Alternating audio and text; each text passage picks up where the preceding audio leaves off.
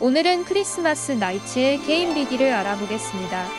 크리스마스 나이츠는 1996년 겨울에 새턴을 구매하거나 배송비만 내면 무료로 보내준 나이츠의 홍보용 게임입니다.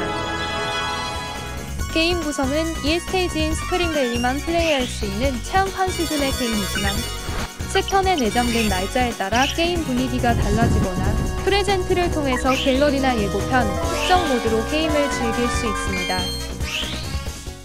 3월부터 10월까지는 나이츠 쇼트 버전으로 실행됩니다.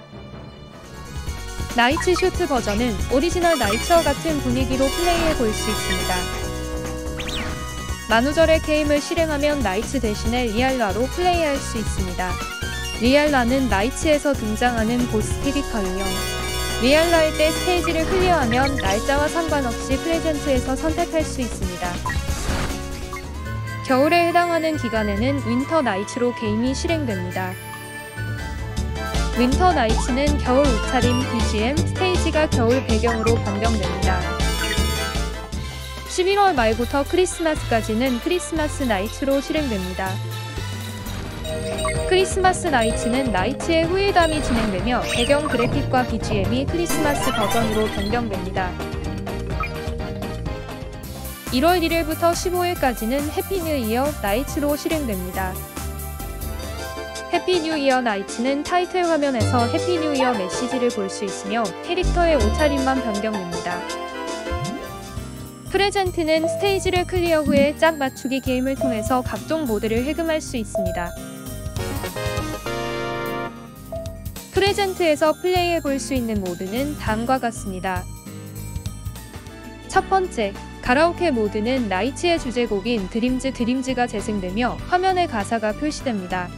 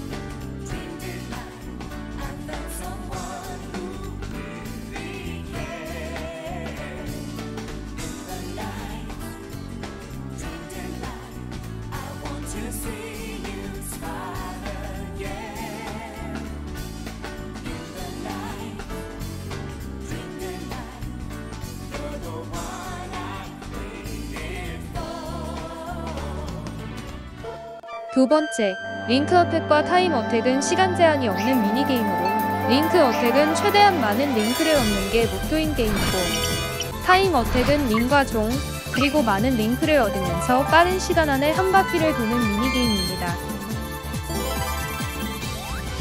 세 번째, 소닉 the Hedgehog into Dreams는 나이츠에서 소닉으로 플레이할 수 있는 모드입니다. 소닉 모드는 나이츠에서 인간 상태일 때 게임 플레이와 동일하며 보스 스테이지는 퍼즐을 패러디한 닥터 에그맨이 등장합니다.